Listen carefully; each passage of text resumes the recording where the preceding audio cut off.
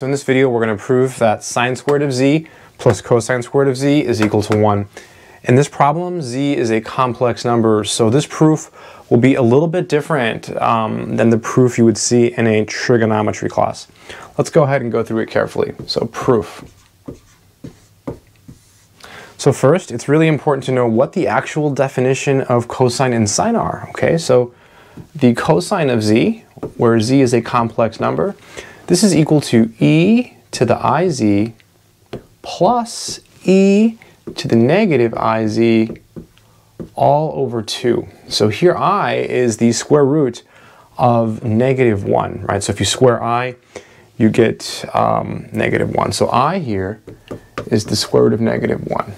Okay, and then sine z, it's very similar, but it's different. So it's e to the iz, then it has a minus e to the negative iz, and that's all over 2, and then there's also an i here, so it's a little bit um, different, right? It's really easy to forget the i. Just remember, sine has the i, sine has the i. Good stuff. Okay, so now to do this problem, all we're going to do is show that the left-hand side is equal to the right-hand side. So I'm just going to start um, by writing down the left-hand side, and we'll just show it's equal to 1. I have not done this problem yet, so this will be kind of, kind of interesting. All right, so let's do it. Sine squared z plus cosine squared z. Okay, that's equal to, well now we'll just replace sine with what it is. Sine is this, so it'll be parentheses e to the iz, okay, minus e to the negative iz all over 2i. And this whole quantity here is, is being squared, right? Because it's being squared. So this is our sine z plus, plus then we have e to the iz plus e to the negative iz, and this one's all over 2, and this whole quantity here is also, also being squared, right? So all we've done so far is we've written down the left-hand side, and we've replaced uh, sine with sine and cosine with cosine. Now let's do some math, and uh, I'm going to take some shortcuts here when I, when I do the math. Um, we're just going to use some properties from algebra like a plus b squared, right? You square the first one, uh, you multiply these and you double them, so it's 2ab, and then you square the last one, so b squared. And if it's a minus b, it's the same, except you have a minus here. Okay, so this is equal to, so we're going to square this one.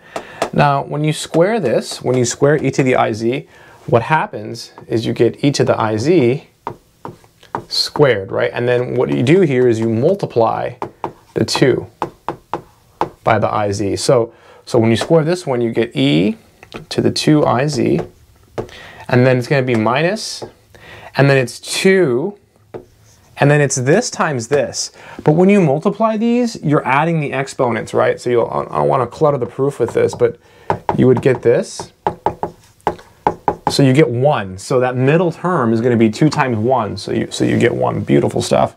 This is awesome. And plus, um, this is going to be e to the negative iz squared. As before, we'll multiply by 2. So plus e to the negative 2 iz. Oh, that's cool.